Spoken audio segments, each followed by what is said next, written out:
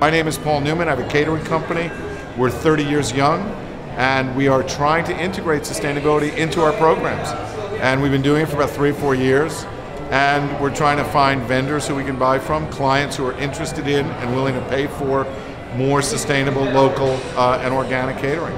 Oh, you can go to our website at caterer, C A T E R E R, NYC.com.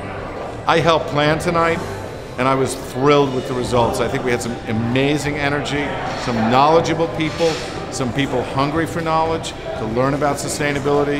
My sustainability tip is network, create, and become part of the community of people who know what they're doing, and you will learn what you need to learn.